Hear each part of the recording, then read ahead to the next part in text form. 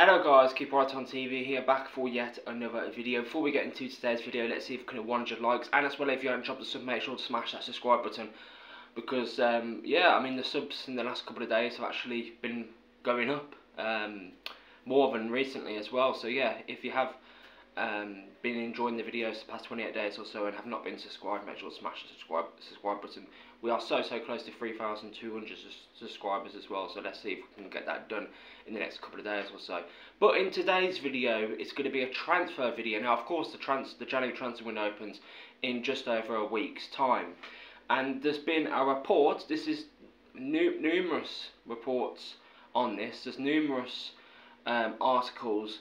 Um, talking about this. So Ipswich Town have, have inquired about Birmingham City man on loan. Uh, of course, that man is Jay Stansfield. He is on loan with us. He is a Fulham player. But they've um, Ipswich Town have um, inquired about him for uh, a permanent transfer. Now, of course, Jay Stansfield has got five goals and one assist for us this season in the championship. Of course, he scored against Ipswich as well. He, sco he, has, he has scored some bangers for us as well. The one against Plymouth at St Andrews, the one away at Southampton. Yes, that might have turned out to be a consolation goal, but still, it got us back in the game. So, um, yeah, Ipswich Town looking to add more firepower to their to their squad. Now, of course, Ipswich Town are a club that wasn't expected to be in second place this time in the season. Um, we're nearly halfway through and they're like 10 points a clear of third place. Leeds United, I believe it is, or Southampton in third. But yeah, um, Conor Chaplin, they've got him in the team. I think Jay Stansfield, if he was to go to Plymouth, uh, to Ipswich Town, sorry, um, he would. Um, I don't. I don't know if it's do Ipswich Town play two up top. If they if they if they play two up top, then maybe. But if they just play one up top, Conor Chaplin, I can't see him getting into Ipswich's team. I think he'll be like an impact player off the bench and help them get over the line in terms of them getting promoted to the Premier League. I can't see um, Jay Stansfield starting for Fulham. They scored five back to back um, a couple of uh, weeks ago.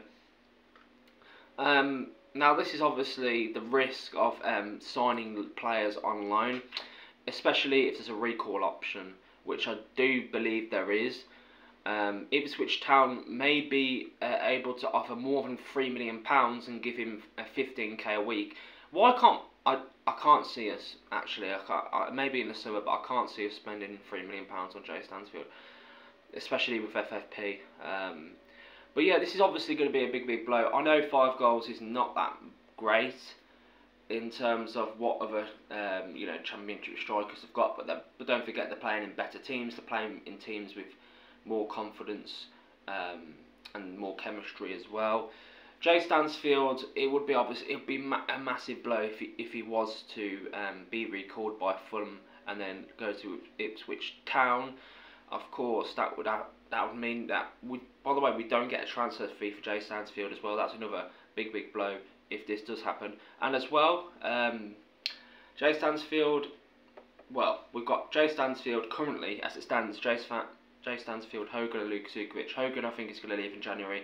Jay Stansfield if he goes in January that actually leaves us with Lukas Jutkiewicz. That means we have to find another striker to replace Jay Stansfield in the January transfer window and I think that'd be an absolute nightmare in terms of FFP, in terms of you know getting that right striker. There's no guarantee that it will work out. You've got all of that to worry about. So the January transfer window is going to be a big, big one. Well, I, I think this. Um, I mean, next summer is going to be a big, transfer window for Birmingham City Football Club. But it's going to be an inter- I, will take that back. It's going to be an interesting January transfer window to see what happens with this Jay Stansfield situation and with the likes of Hogan. Is he going to stay? Is he going to go? And with the likes of Ivan Sunjic as well, he's only got six months left in, on his contract. In a couple of weeks' time, clubs are allowed to talk to him about a possible move in the summer. But yeah, let me know what you think in the comments down below. And keep us on t- keep right on TV here. Make sure to like, share, and also subscribe to the channel. Let's see if we can hit 100 likes. Thanks for watching as always, guys. Let me know what you think in the comments down below. As I said, keep on.